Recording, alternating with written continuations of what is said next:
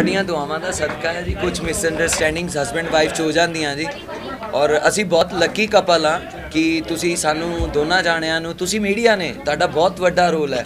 ਕਿਉਂਕਿ ਤੁਸੀਂ ਮੀਡੀਆ ਨੇ ਜਦੋਂ ਪੋਜ਼ਿਟਿਵ ਸਾਡੇ ਦੋਨਾਂ ਲਈ ਕੀਤਾ ਔਰ ਦੁਨੀਆ ਜੁੜੀ, ਤਾਂ ਸਾਡੇ ਦੋਨਾਂ ਨੂੰ ਮਜਬੂਰ ਕਰ ਦਿੱਤਾ ਤੁਸੀਂ ਸਭ ਨੇ ਕਿ ਤੁਸੀਂ ਅਲੱਗ ਨਹੀਂ ਹੋਣਾ। ਤਾਂ ਅਸੀਂ ਆਪਣੇ ਆਪ ਨੂੰ ਬਹੁਤ ਲੱਕੀ ਕਪਲ ਸਮਝਦੇ ਹਾਂ।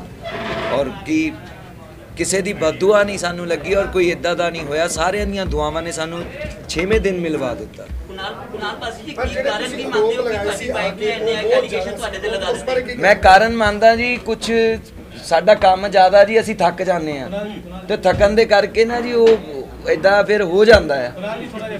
20 ਕਰੋੜ ਰੁਪਏ ਦਾ 20 ਕਰੋੜ ਰੁਪਏ ਦਾ ਹਸਤਾ ਬਾਜੀ ਅਸੀਂ ਟੈਕਸ ਪੇਡ ਆ। ਕੋਈ ਉਹ ਐਲੀਗੇਸ਼ਨ ਮੈਨੇ ਨਹੀਂ ਰੱਖਦੇ। ਉਹ ਜੋਤੀ ਜੀ ਬਹੁਤ ਵੱਡੇ ਟੈਕਸ ਪੇਡ ਬੰਦੇ ਨੇ।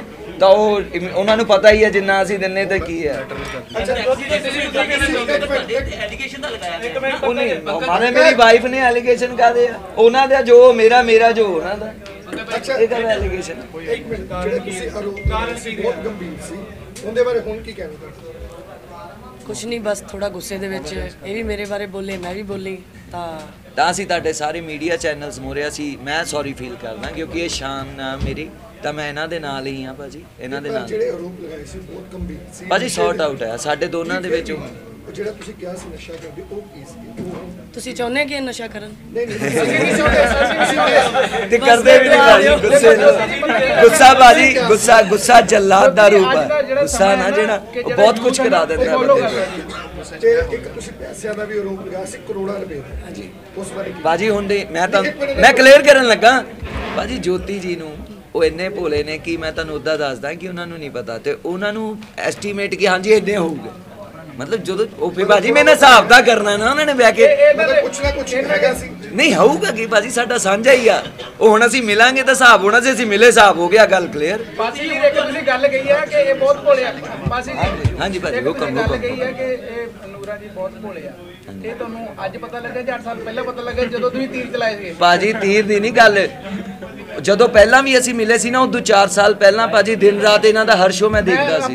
ਮੈਨੂੰ ਪਤਾ ਤੁਸੀਂ ਕਰਦੇ ਜੋ ਮੈਂ ਬੜੀ ਵਾਰ ਵਾਚ ਕੀਤਾ ਤੁਹਾਨੂੰ ਪਰ ਆਪਾਂ ਜੇ ਮੈਨੂੰ ਪਤਾ ਹਾਂ ਜੇ ਮੈਨੂੰ ਪਤਾ ਸੀ ਤੇ ਭਾਜੀ ਮੈਂ 6 ਦਿਨ ਵੇਟ ਕੀਤੀ। ਮੈਂ ਤੁਹਾਨੂੰ ਕਿਸੇ ਨੂੰ ਇਦਾਂ ਤਾਂ ਨਹੀਂ ਆ ਮੈਂ ਬਾਈ ਫੇਸ ਕਿਤੇ ਮਿਲਿਆ ਤਾਂ ਮੈਨੂੰ ਵੇਟ ਸੀ ਕਿ ਮੈਂ ਮੇਰਾ ਬੱਚੇ ਇਦਾਂ ਦਾ ਨਹੀਂ ਆ। ਮੈਨੂੰ ਪਤਾ ਹੈ ਮਿਸ ਗਾਈਡ ਹੋਆ ਮਿਸ ਅੰਡਰਸਟੈਂਡਿੰਗਸ ਨੇ। ਅਸੀਂ ਕਲੀਅਰ ਕਰਾਂਗੇ ਉਹ ਤੁਸੀਂ ਮਿਲਾ ਦਿੱਤਾ। ਦੂਰ ਤਾਂ ਇੱਕ ਵੱਖਰੀ ਗੱਲ ਹੋ ਗਈ ਹੁਣ ਜਿਹੜੇ ਭੋਲੇ ਵਾਲਾ ਗੱਲ ਕਰਦੇ ਹਾਂ। ਨਹੀਂ ਬੋਲੇ ਤੁਹਾਡੇ ਸਾਹਮਣੇ ਹੀ ਆ ਮਾਰੇ। ਇੱਕ ਉਸ ਦਿਨਾਂ ਦੇ ਵਿੱਚ ਜਦੋਂ ਪ੍ਰੈਸ ਕਾਨਫਰੰਸ ਪਿਛਲੇ ਦਿਨੀ ਕੀਤੀ ਸੀ ਉਦੋਂ ਤੁਸੀਂ ਜਿਹੜੀ ਡਿਵੋਰਸ ਫਾਈਲ ਕੀਤਾ ਹੈ ਉਹ ਵਾਲੇ ਪੇਪਰਸ ਵਾਪਸ ਕਰ ਲਏ ਜਾਂ ਕੀ? ਹਾਂਜੀ ਉਹ ਸੌਰਟ ਆਊਟ ਹੋ ਜਾਊਗਾ ਸਾਰਾ ਤੁਹਾਡੀਆਂ ਦੁਆਵਾਂ ਲਈ। ਅੱਛਾ ਇੱਕ ਨਾ ਸੋਸ਼ਲ ਮੀਡੀਆ ਤੇ ਜਦੋਂ ਤੁਸੀਂ ਇਹ ਗੱਲ ਆਰੋਪ ਲਗਾਏ ਸੀ ਉਸ ਤੋਂ ਬਾਅਦ ਪੈਚਅਪ ਹੋ ਗਿਆ ਸੀ ਦੋ ਤਿੰਨ ਦਿਨ ਪਹਿਲਾਂ। ਤੇ ਜਿਹੜੇ ਸੋਸ਼ਲ ਮੀਡੀਆ ਤੇ ਲੋਕ ਕਹਿ ਰਹੇ ਸੀ ਇਹ ਸਿਰਫ ਇੱਕ ਸਟੰਟ ਸੀਗਾ। ਜੀ ਜੀ ਮੈਂ ਦੱਸਦਾ। ਦੇਖੋ ਭਾਜੀ ਪਹਿਲਾਂ ਤਾਂ ਜਿਹੜੇ ਕਹਿੰਦੇ ਨਾ, ਜਿਨ੍ਹਾਂ ਨੇ ਕਿਹਾ ਸਟੰਟ ਹੈ, ਉਹਨਾਂ ਨੂੰ ਕੋ ਪਹਿਲਾਂ ਤਾਂ ਇੰਨੀ ਮਿਹਨਤ ਕਰਕੇ, ਮਿਹਨਤ ਤੋਂ ਬਾਅਦ ਇੰਨੀ ਸ਼ੋਹਰਤ ਲੈ ਕੇ, ਸਭ ਕੁਝ ਲੈ ਕੇ ਸਾਡੇ ਕੋਲ ਆ ਜਾਣ। ਫਿਰ ਮੈਂ ਉਹਨੂੰ ਕਹੂੰਗਾ, ਤੈਨੂੰ ਇੰਨਾ ਕੁਝ ਦੇਣਾ ਤੇ ਤੂੰ ਆਪਣੇ ਨਾਮ ਤੇ ਦਾ- ਭਾਜੀ, ਜਿਹੜੇ ਸਟੰਟ ਖੇਲਦੇ ਨੇ ਨਾ, ਫਿਰ ਇੰਨੀ ਜਲਦੀ ਤੁਸੀਂ ਸਾਨੂੰ ਇਕੱਠੇ ਨਾ ਕਰਵਾਉਂਦੇ। ਅਸੀਂ ਫਕੀਰਾਂ ਦੇ ਬੱਚੇ ਆ ਭਾਜੀ ਸਟੰਟ ਸਟੁੰਟਾਂ 'ਚ ਸਾਨੂੰ ਮਾਨ ਨਹੀਂ ਆ ਸਾਨੂੰ ਮਾਨ ਆ ਆ ਜਿਹੜਾ ਆਸ਼ੀਰਵਾਦ ਤੁਸੀਂ ਫਕੀਰਾਂ ਤੋਂ ਦਵਾਤਾ। ਅਸੀਂ ਸਟੰਟਾਂ 'ਚ ਵਿਸ਼ਵਾਸ ਨਹੀਂ ਰੱਖਦੇ ਨਾ ਕਦੀ ਜ਼ਿੰਦਗੀ ਜ਼ਿੰਦਗੀ ਕੋਈ ਸਟੰਟ ਨਹੀਂ ਭਾਜੀ ਅਸੀਂ ਐਕਟਰ ਥੋੜੀ ਆ ਅਸੀਂ ਤਾਂ ਸੂਫੀਆਂ ਦੇ ਬੱਚੇ ਆ ਮਹਾਰਾਜ। ਤੁਸੀਂ ਜਿਹੜੇ ਆਰੋਪ ਸੀ ਮੇਰਾ ਫਿਰ ਸਵਾਲ ਭਾਈ ਤੁਸੀਂ ਇੱਕੋ ਹੀ ਰੋਪ ਰੋਪ ਰੋਪ ਰੋਪ। ਤੁਹਾਡੇ ਸਾਹਮਣੇ ਬੈਠੇ ਜੋ ਕਰਨਾ ਮਹਾਰਾਜ। ਤੁਸੀਂ ਇੱਕ ਵਾਰੀ ਆਪਣੇ ਨੂੰ ਮੈਂ ਤੁਹਾਨੂੰ ਕਿਹਾ ਵੀ ਗੁੱਸੇ 'ਚ ਅਸੀਂ ਉਹ ਵੀ ਬੋਲੇ ਮੈਂ ਵੀ ਬੋਲੀ ਗੱਲ ਖਤਮ ਤੁਹਾਡਾ ਸਿਰ ਤੁਸੀਂ ਤੇ ਸਾਡੇ ਮਲਵਾਤਾ ਔਰ। ਤੁਸੀਂ ਨਹੀਂ ਗਲਤ ਲਿਖਿਆ ਇਸ ਲਈ ਤੁਹਾਨੂੰ ਰੱਬ ਬਹੁਤ ਦੇਵੇ ਤੁਹਾਡੇ ਘਰ ਖੁਸ਼ੀਆਂ